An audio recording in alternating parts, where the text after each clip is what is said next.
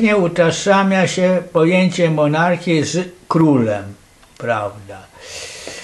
No jeżeli ten król nie ma faktycznej władzy, to ktoś inny rządzi, tak w tych ustrojach albo rządzą parlamenty, albo władza wykonawcza, czyli rząd, prawda? Y, mon monarchia, jeszcze raz podkreślam, że to są rządy jednostki i w systemie monarchii możemy ująć urząd prezydencki, jeżeli ten prezydent ma, fa ma faktyczną władzę. Dlatego w Konstytucji z 1935 roku wyposażono prezydenta w silną władzę, między innymi mu nadając artykule 13 prerogatywy, czyli ten prezydent miał faktyczną władzę, czyli w Polsce według Konstytucji 1935 roku została przywrócona monarchia.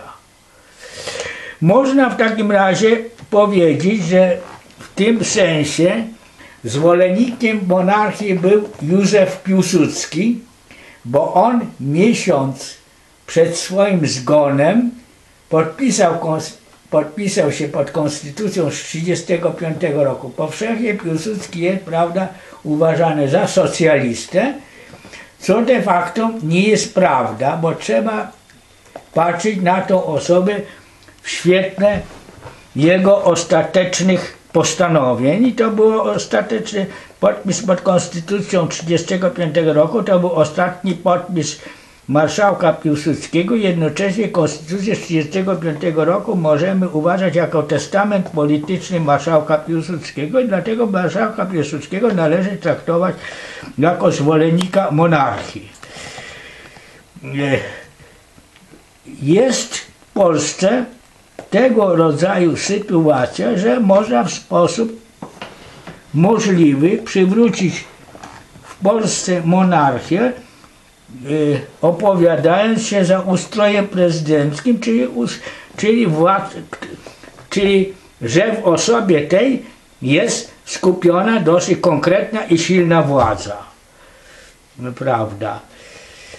Y, wielcy filozofowie, y, powtarzam się, tak jak Sokrates, Platon i Arystoteles analizują te trzy rodzaje ustrojów, pozytywnie ocenili system monarchiczny. Na te tematy też się wypowiada tak wielki filozof rzymski Cyceron.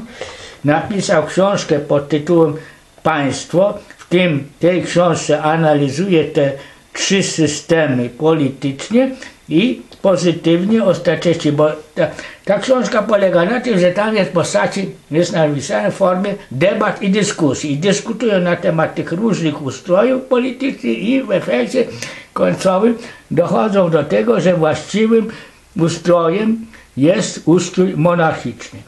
Możemy odnieść do przyrody ten problem, bo jeżeli chodzi o na przykład o zwierzęta stadne, to jeżeli zabije się przewodnika tego stada, to stado się rozlatuje. Podobnie jest i wśród ludzi. Jeżeli są jakieś narody, które tworzą państwa, więc mianowicie, żeby była silna organizacja, to na czele musi być stać, stać jedna osoba kierująca rządami. Prawda?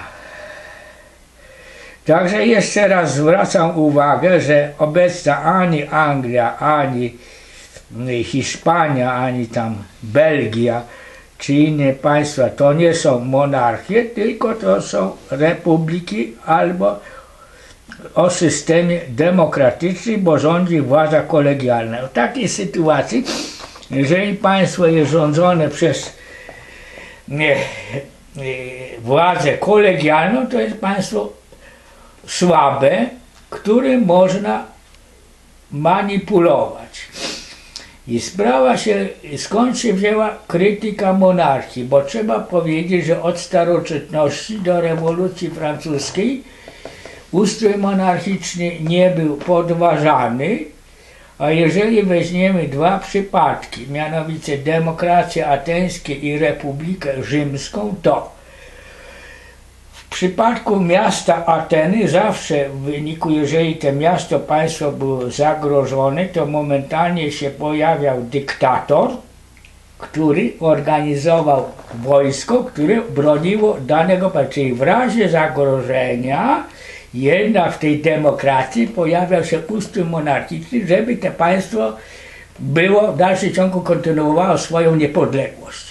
Obroniło się przeciwnikami, przed. Jeśli chodzi o Republikę Rzymską, to jest rzeczą oczywistą, że Rzym w systemie republikańskim nie zbudowałby potęgi, bo znowu rządy kolegialne są rządami słabymi, dlatego, prawda, sprawa się zaczęła od pierwszego monarchy Cezara. Cezar wprowadził system jedynowładcy. Na początku w Rzymie został wprowadzony pryncypat, potem dominat i Rzym urósł potęgę przy przywróceniu ustroju monarchicznego.